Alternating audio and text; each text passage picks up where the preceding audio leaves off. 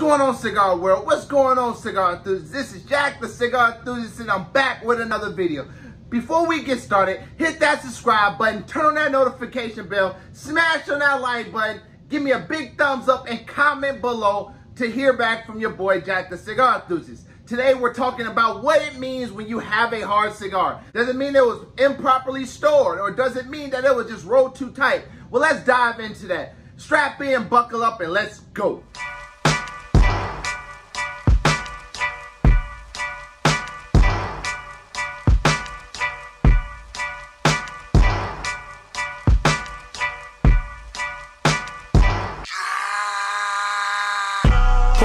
A lot of times people go into a humidor and they gauge the selection of the cigar that they're going to get based on how it feels, how it smells, and different things that they use to, to determine what cigar they're going to smoke. And the same concept applies when we're actually grabbing a cigar out of our humidor. We gauge it based on how it feels, how squishy it is, and use that as a determining factor if it's ready to smoke. Some people have gone so far and got a cigar medic, which tells you the proper humidity and proper quality of this cigar and if it's ready to smoke. But then some people who like to go the old school way to really figure out if a cigar is ready to smoke.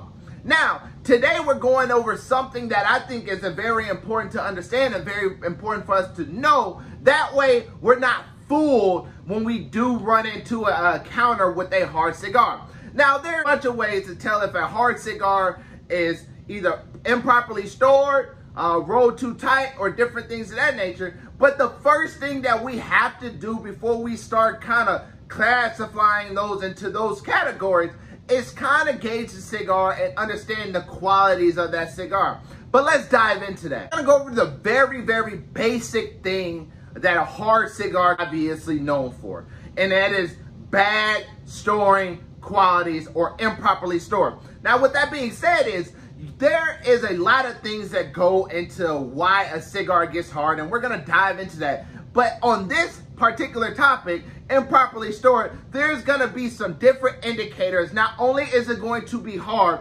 but it's also going to be very dry. You're going to be able to look at the cigar and you're going to be able to tell that this was improperly stored for a long time. Wrapper is going to be really, really uh, dry and, and, it also would crack when you actually smoke it. Now, I know a lot of people that had this happen to them where they cut it, they light it up, and then literally in the middle of the cigar, it cracks. Why? Because it was improperly stored for a long time, which produced a very dry and hard cigar. And the expansion of that tobacco while you're smoking it is not doing well with that wrapper because it's not lubricated or moist enough for it to be able to get properly smoked. Now that is the first determining factor and I wanted to get that knocked out of the way because that is something that you normally think when you touch a hard cigar.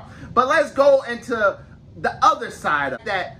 Certain cigars are just rolled more firm than others. What I mean by, if you look at the Oscar Superfly or the Palisade Irma Fuente, those cigars that are naturally rolled tight. I mean, you can touch it even in a properly humidified environment, and it's still going to be a hard cigar. But here is the reason why.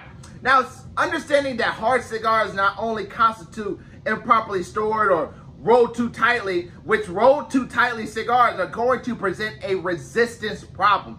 But some rollers just roll the cigars naturally firm. Now, what does that mean? When you roll a cigar, the tobacco leaf could possibly have more water in the actual leaf versus when you got it off the shelf, which could present a firmer cigar. Also, the other part of it is just naturally some rollers roll their cigars tight. Some requirements for the actual cigar blend require it to be rolled tight.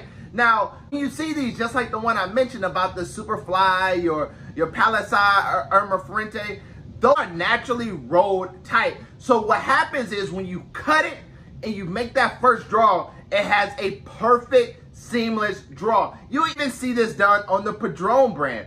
A lot of their cigars are rolled tight, but when you cut into it, it has a perfect draw. And the reasons why is simply due to the fact of what I said. When that tobacco was rolled by the roller in the very beginning, it was rolled with a lot of water still implanted in that plant.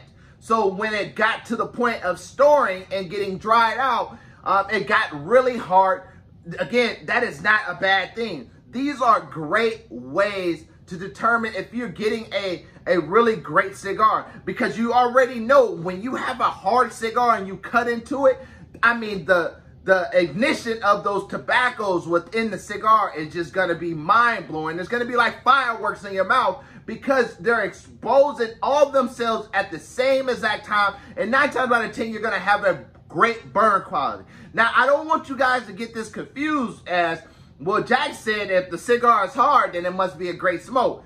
There is obvious things, like I stated in the beginning of this video, that you have to look for. You have to see if it presents itself as a super dry cigar. You have to present itself as when you do squeeze it, does it crack a little bit? Does it does it stay just firm? Because those are great indicators as well. If squeeze it and it actually you hear that you know cracking noise, then nine times out of ten this is not a cigar that you want. Uh, and this is not a cigar that you want to smoke because it's probably experienced some of those things I mentioned in the video. Improperly stored, not not not a great cigar to smoke because at the end of the day, once you light it up and start smoking, it's going to start cracking.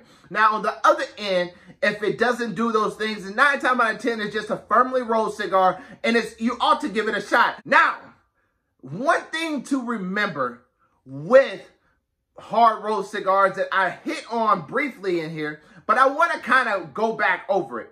Now, a firm cigar can also present one more problem, and that is the, the resistance of the draw. If a resistance of the draw is high, it's going to cause you to suck a cigar a lot harder you would than a regular cigar, which is not a good thing. Bad resistance on draws means that there are several phases of this quality control mechanism that most companies have in place that failed. From the resistance machine that tests the resistance to actual points of the quality checklist that every cigar goes through multiple times before even leaving the factory. So now I'm not saying that, again, the resistance is a bad thing, but again, too much resistance is detrimental for a cigar smoking experience. With that being said, use your use your brain wisely. You know, figure out what it is that you actually uh, should do when you encounter one of these firmly rolled cigars. Again, it was something I had to get used to, but it was also something that when I did smoke some firmly rolled cigars, I had both ends. Some was either dry and, and just poorly stored, or the fact that it would just roll firmly as soon as I toasted the foot, cut it.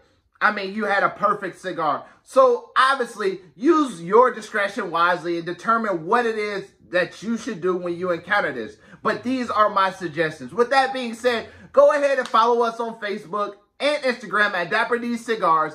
Uh, smash on this like button on this video. Share the content to all your friends.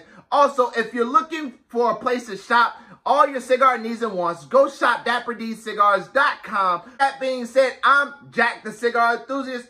I hope you guys enjoyed this video. And also, every Sunday at 7 p.m., we are live here on YouTube as well as Facebook for our virtual smoke deck. With that being said, I'm Jack the Cigar Enthusiast and I'm go.